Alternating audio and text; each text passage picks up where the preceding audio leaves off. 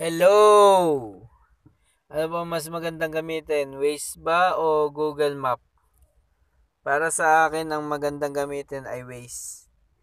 Kasi sa tagal-tagal ko nang nag-grab, tatlong taon na ako mahigit dito sa Grab. Um, nasubukan ko na ang Waze saka Google Map. Ang Google Map, hindi niya na-detect yung mga dead end, yung mga saradong daan kaya, ang mapapayo ko sa inyo, ang gamitin nyo Waze. Accurate siya sa mga one way, saka sa mga saradong daan. Di ka tulad sa Google, padadaanin ka sa mga saradong daan.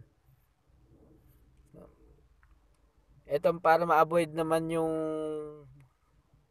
toll, yung toll gate. Punta kayo dito sa ito tatlong linya na to sa bandang itaas. Ito. Pindutin nyo to. Pindutin natin yan, yung tatlong linya. Tapos punta tayo sa setting. Ito sa setting. Para ma-avoid natin yung toll gate. Punta tayo sa navigation setting. Tapos, hanapin natin yung ito, avoid toll roads. Yan. Pagka in-slide nyo to, yan, hindi na kayo padadaanin sa toll gate. Kasi yung mga ibang mga nagmomotor dyan, pinapadaan kayo sa mga toll gate, sa NLEX, sa SLEX, sa mga Skyway. Pinapapasok kayo. Ito, i-slide nyo lang to para hindi kayo padaanin sa sa toll gate, mga toll roads. Ganun din sa ano sa Waze. Kung paano kung paano ma a-avoid yung toll roads. Doon din sa settings. Settings tayo. Punta tayo sa settings. Pindutin natin to. Itong parang magnifying glass. Tapos, punta tayo dito. Dito tayo pumunta. Dito. Sa may parang uh, setting. Ito sa gear na to. Parang gear. Para siyang sprocket. Tapos punta tayo sa navigation. Ito. Avoid toll.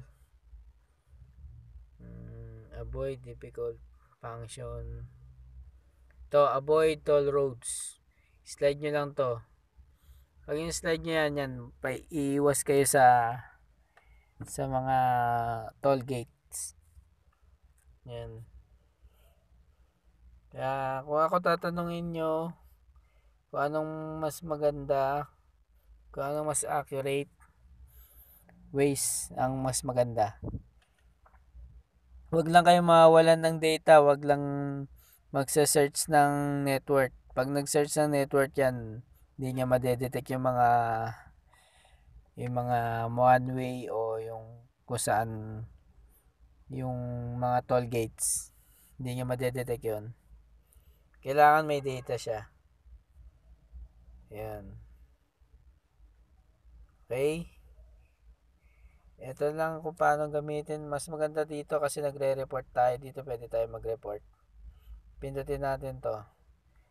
Hindi pwede kayo mag-report yan. No? Kung traffic, heavy traffic. Kung ito kung may police. Kung may accident, pwede kayo mag-report. Yung hazard on on roads. Kung merong mga object. Roadworks broken traffic, kung mayroong roadkill, vehicle stop, o pothole kung mayroong mga butas. Ayan. Vehicle stop, big. Kung mayroong animal, missing sign, pag umuulan, kung may pag, ice road, ice on road, wala naman tayong ice on road.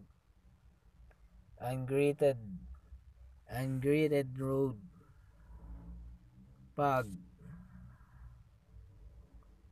yan ang mga yan Mas maganda ang Waze. Kung ako sa inyo, Waze na lang kayo. Okay, thank you.